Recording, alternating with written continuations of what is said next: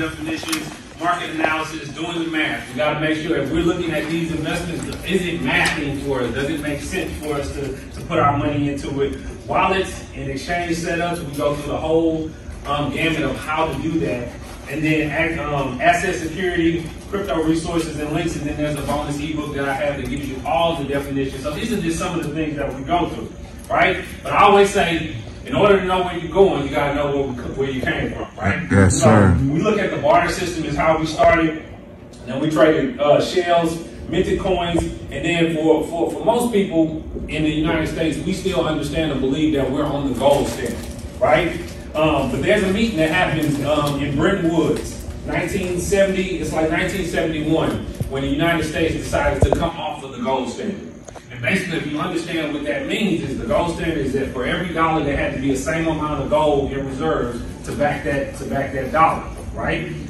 Well, this basically Virgil took us off of that, and the United States was then able to print as much money as they want, right? So when we look at today and we say, well, man, eggs cost six dollars. Well, it don't cost more to make eggs. It's just that that dollar that you're holding is worth less.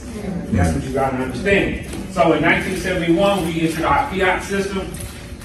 And then 2008, I was a young guy straight out of college, a little bit out of college, but I ran a mortgage company and I went through the 2008 crash um, in mortgages. And I just remember myself, man, being, being, that was the scariest moment of my life that I've ever been a part of right? I didn't know what to do. I had never seen this type of financial collapse in my life.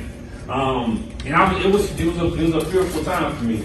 But you know, as, as time goes on, you learn, you look at the markets, you understand how they shake out, you understand cycles. And then what I did for myself, I educated myself. I got the information, I knew what I wanted to do, and I promised myself by the time this thing comes around again, because these are all cycles, I will be prepared to take advantage of it. And I just want you guys to know, guys, we're sitting in front of those times again. It's getting Yeah. ready to happen. Yes, So sir. you have to position yourself so you can take advantage.